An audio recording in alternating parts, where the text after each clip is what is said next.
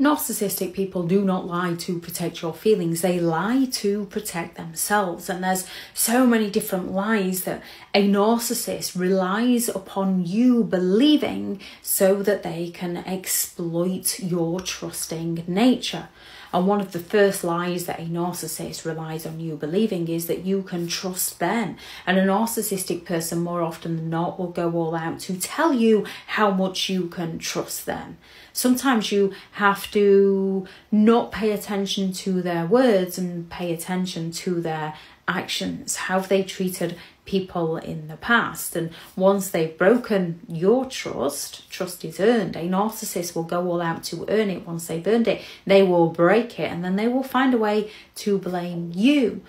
Another lie they want you to believe is that they would never hurt you.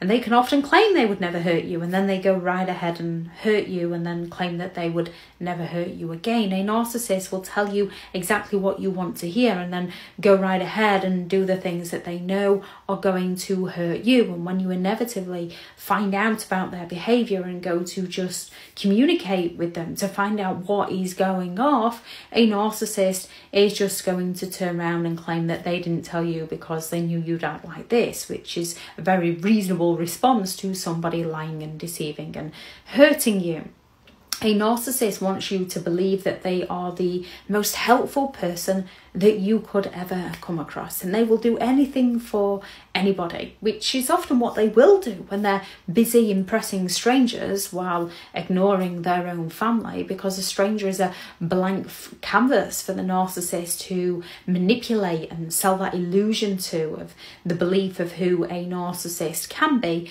and not who they actually are. A narcissist wants you to believe that they are perfect and they don't make any form of mistakes, which is why they will go all out to shift the blame over to you, to accuse you, to claim, well, if you hadn't, I wouldn't. It's not my fault, It's something that a narcissistic person will say. Or they'll just accuse you of being crazy and imagining things. Narcissistic people want you to believe that they don't do any wrong. And by impressing strangers, they gain enablers onto their side because when a narcissist is love bombing someone, when they're earning that person's trust, when they're being so helpful and being so kind and being so nice and selling them an illusion of who the narcissist potentially could be, it's very easy to get sucked into the narcissist's lies. And then they're going to go all out to tell you that they're exes are crazy that their parents were never there for them. And in, some cases, yes, this can be true. However, with a narcissistic person, they're doing this to manipulate you because they want you to believe that everybody else is against them so that you go all out to support them and help them and be there for them. And if that person ever approaches you to tell you just how toxic the narcissist is, you don't believe them because the narcissist is treating you oh so well.